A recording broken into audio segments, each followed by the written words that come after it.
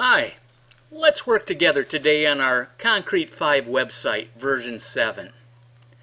You know what, there's a lot of modifications that we can do and obviously you can build your site to be whatever you want it. But the trick is, is to make it dramatic, effective, and most of all, easy to do.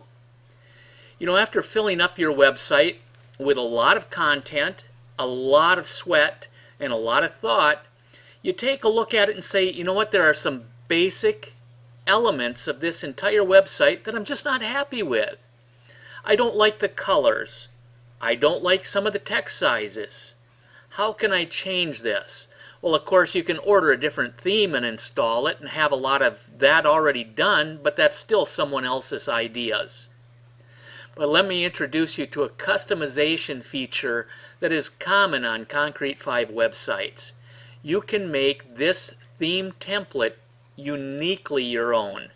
And we're going to start by going up to the Edit ribbon and selecting the gear for settings. We'll go down to Design. And under Design, you'll notice the page template is checked off. We're using a full page here. And the theme that we're utilizing is also selected. Under this basic elemental theme, the stock theme that comes with your C5 installation, you'll notice there's a bar that says Customize when you hover on it. Well, there's a dead giveaway. We're going to choose that. Now take a look at what is available to you here. Unbelievable. Under customization, there is so much we have the page background, text, link colors, hover colors, the title colors and sizes of that text, the header backgrounds, the site title information, even your navigation, text colors, hover colors, and sizes can all be edited from this panel. All your headings are modifiable. Your image slider, your footer, you name it, you can access it from this panel and make it truly your own. So let's start. Up on the top, page background. This little square here, when we click on it, is actually a color selector. Now you can see we have a range of shade and a little round circle in the corner that we can drag into other areas of the color selector and change, we can select a unique color.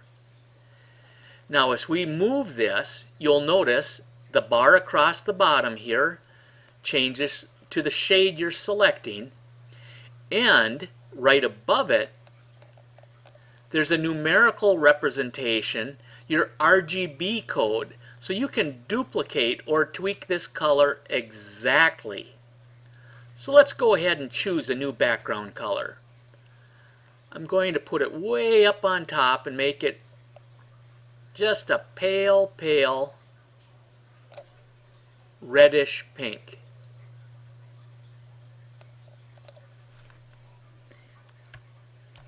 I'm going to copy that number.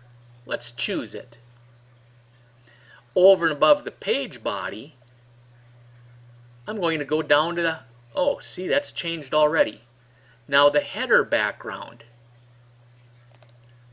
This time, instead of dragging it, how about I just paste in the color code that I already selected, just for consistency. Now, the backgrounds have changed. So fast and so easy. But take a look at this navigation. It doesn't fit. The text is too small, the color's all wrong.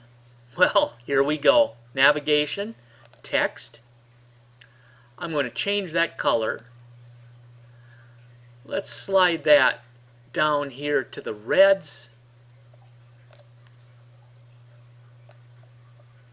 I'm going to make that very definite.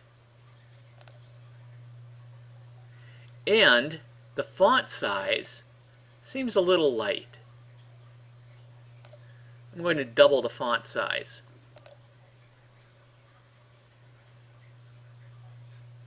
Oh, there we go. Now as I hover over it, ah, it goes from the red to a pale blue. Hmm, not a fan.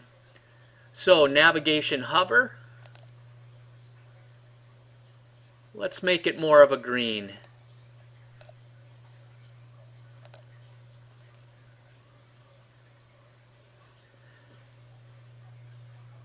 Oh yeah, there we go.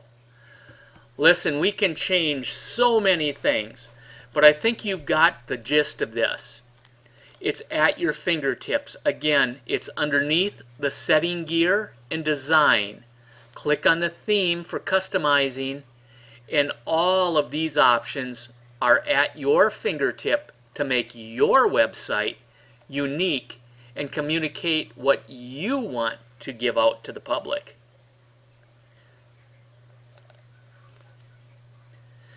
When I go to make all those changes saved, I can now also select either this page only or apply them across the entire site.